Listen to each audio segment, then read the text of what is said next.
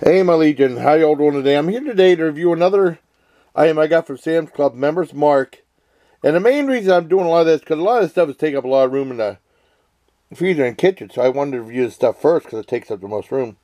Members Mark, uh, I put it in the freezer when I got home Sunday, because I knew I couldn't eat all that, because I got a lot of stuff.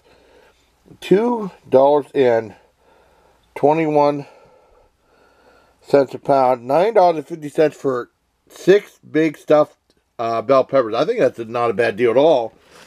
And what I do is I divide them up. I made two in the air fryer. This is what they look like. I remember last time I bought uh, prepared Del, prepared, yeah, prepared Del peppers. Prepared stuffed peppers was, uh, oh, what's that? Uh, market, no, what's it?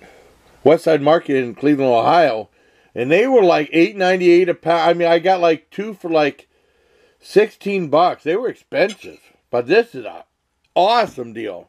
And these are huge bell peppers too. Let's try them out and cook them in. The, I want to heat them up in the air fryer.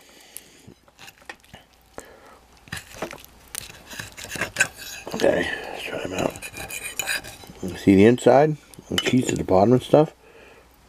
Yeah.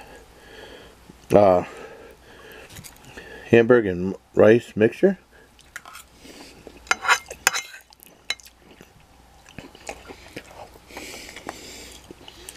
Mmm. Very good. I stuffed pepper forever. That's why I couldn't resist.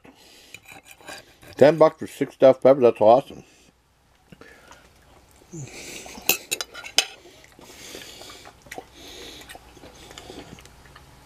Pretty good. I could